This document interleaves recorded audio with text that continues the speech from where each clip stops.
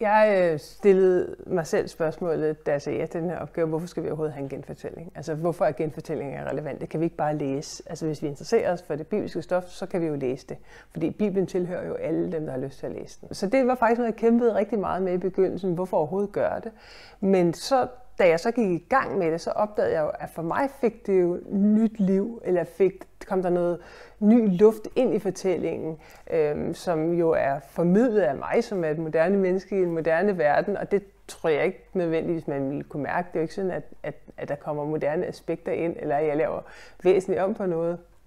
Men den her øh, tanke om, at man kan se på tingene, og man kan øh, dvæle ved det på en anden måde, når det bliver skrevet sammen. Og min genfortælling, den er faktisk skrevet sammen som en, en roman, som en form for, måske et portræt af, af Jesus, eller tiden, eller, eller bogen på den måde.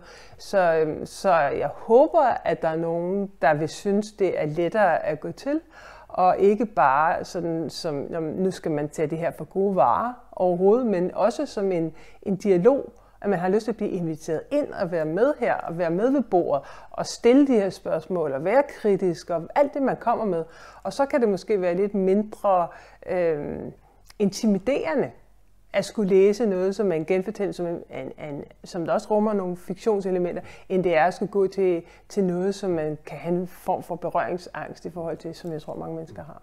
Altså, det er jo lidt svært for mig at sige, hvad man skal bruge det til, fordi jeg synes, at alle læsninger af bibelstof eller bibelfortællinger, om det er genfortælling eller om man går direkte til kilden, det er jo en meget personlig oplevelse. Og det har også været en meget personlig oplevelse for mig at genlæse Bibelen.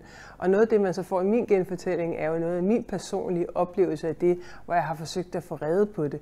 Øhm, men det, som jeg synes, man kan bruge det til, det er jo at sætte stikket i til de helt store fortællinger om, hvad det vil sige at være et menneske, hvad det vil sige at være øh, et menneske med fejl, et famlende menneske, et menneske, som skal tro på eller ikke tro på, at der er noget, der er større end os, og øh, have steder at vende sig hen. Så der er jo rigtig mange fortællinger lavet ind i det, som jeg synes, at man kan gå til, øh, uanset hvor man står i sit udgangspunkt, øh, og, og forhåbentlig have glæde af. At omdanne det nye testamente til romangenre, det er jo noget af en balanceøvelse, fordi det er jo ikke en roman i udgangspunktet. Det er jo det, gendækningen må og kan, det er jo at samle det og, og kombinere det på nye måder. Øhm, og der vil jo være en masse valg, jeg har truffet undervejs. Hvad skal vi have med fra det ene? Og så står der pludselig noget andet, og det hele kan jo ikke komme med. Og heller ikke, når de samme fortællinger er genfortalt øhm, i evangelierne for eksempel, så vælger jeg jo ud. Og jeg er ikke i tvivl om, at der, sikkert, eller der er en pointe i, at det er fortalt på den måde, som det er i Bibelen, og sådan bliver det jo ikke det, det bliver jo ikke understreget hos mig. Så det er, jo, det er jo noget, jeg hele tiden er bevidst om, at, at jeg også må minde mig selv om, at det her det er altså en gendigtning. Det er ikke, at jeg skal øh, bare parafrasere øh, bid for bid for bid for bid, fordi så kan man næsten lige så godt faktisk være på at stå, gå ind og bare læse det nye testamente, og det er der også nogen, der heller vil. I det nye testamente, når jeg skriver fiktion, så, så er det jo mig, der sidder og sørger for ligesom, dramaturgien og, og flowet og forløbene. Når jeg, I det nye testamente får jeg jo rigtig meget foræret, fordi det findes, og så skal jeg selvfølgelig vælge ud, fordi alt kan ikke komme med, det siger sig selv. Det vil være en, en meget vanskelig øh, genfortælling, både at lave og at læse. Men det jeg opdagede, det er, at der er jo en meget, meget klar og smuk dramaturgi faktisk i det nye testamente, hvor vi går fra, altså det er jo, det er jo indkredset, hele det nye testamente er jo indkredset af nogle meget dybt menneskelige og meget kvindelige faktisk begivenheder. To fødsler i begyndelsen, Johannes Døberen og Jesus, og så, øh, så øh, døden og genopstandelsen. Øh, hvor kvinderne også er meget tæt på. Og det, det havde jeg ikke tænkt på den måde, før jeg gik i gang. Men så vi har jo fødslen, døden, genopstandelsen, og så er der undervejs den ukendte, den folk begynder at følge, den de følger med begejstring, den de kommer på nakken af, den de efter, den de vil slå ihjel osv. Og det er jo egentlig et ret klassisk øh, Øh, forløb, altså fortællemæssigt forløb, og det har jeg jo egentlig holdt mig til, samtidig med, at der er en hel masse øh, andet på spil selvfølgelig. Det er jo ikke bare en, et narrativ øh, flow, der skal være på plads, når man laver en genfortælling i Bibelen, men det har været en stor hjælp at kunne støtte øh, mig til det. Øh, og så er der nogle fortællinger, som sådan står meget sådan centralt. Altså bjergprædikningen kommer jo ind som sådan meget sådan peak i fortællingen. Og det, det har jo været en kæmpe hjælp for mig øh, med det her ret store og uregerlige stof, som det også er, så kunne holde mig til de her øh, ting i fortællingen.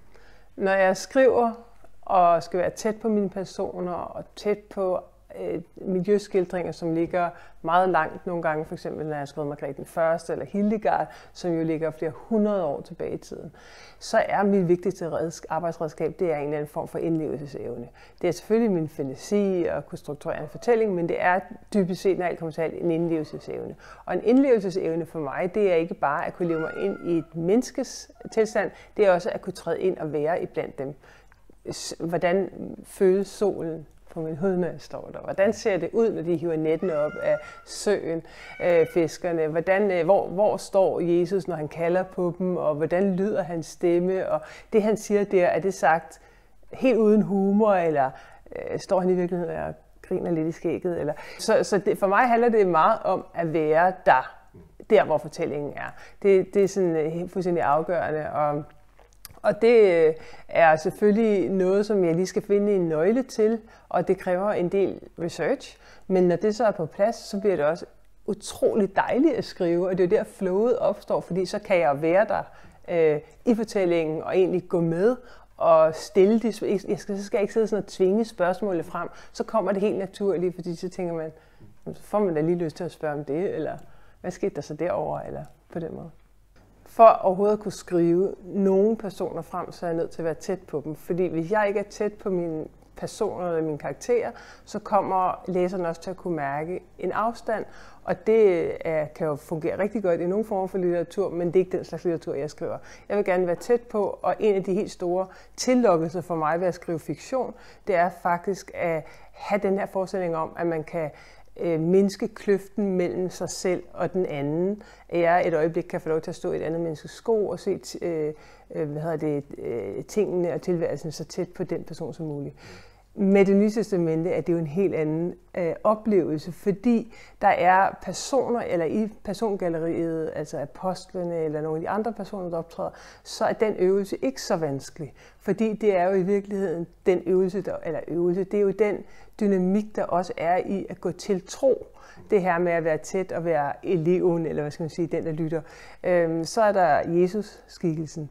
Jeg... Øh, det, det er en anden form for nærhed. Og nu er jeg selv et troende menneske, og hvis jeg ikke var det, tror jeg, det ville være sværere. Fordi for mig er det ikke så fremmed at forsøge at være i nærheden af Jesus, om man så må sige. Så, så den bevægelse har jo bare været meget, øh, har haft en anden øh, dvæle, når jeg har fået lov til at have, have mere tid i det rum, og, og, og, og sådan se det øh, også som den, der stiller de kritiske spørgsmål, og den, der går den anden vej, altså hvad kan vi bruge det til, og alle de her ting, som jeg er nødt til at stille mig selv de spørgsmål, for at komme ind i stoffet, for at komme tæt på, og for at der kommer noget, noget fremdrift i historien.